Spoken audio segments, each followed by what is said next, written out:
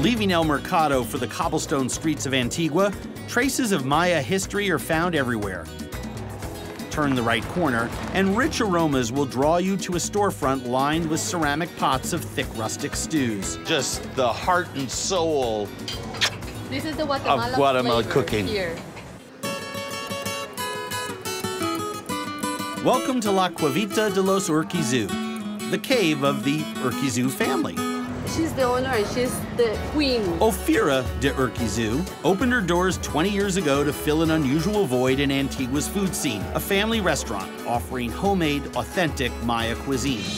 This is a dish that only comes from Antigua Guatemala Uh-huh. and it's called chirmol zapatero. Sausage, potato, and pacaya soup. Suban ik, and it was the, the dish of the kings. Chicken, beef, and pork in tomato and chili sauce. This is lamb. Is it lamb? She only knows the recipe. How, what's in it? ¿Qué tiene? ¿Eh? ¿Qué tiene? Todo lo que es del... Oh, she won't say. She won't say, I'm sorry. She won't say at all. It's a recipe Ophira will pass down to her daughters when they inherit the restaurant, just as her Maya ancestors imparted their culinary traditions to the next generation.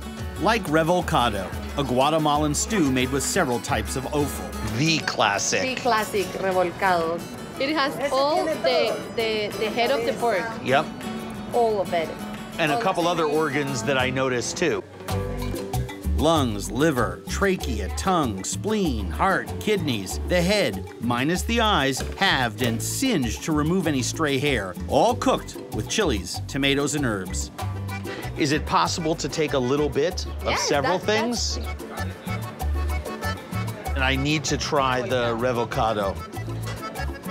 Yes. Let's get some of those.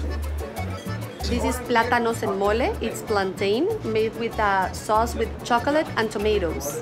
I gotta try that. I, I mean, I, you know. Gracias. All right. Do you think we have enough?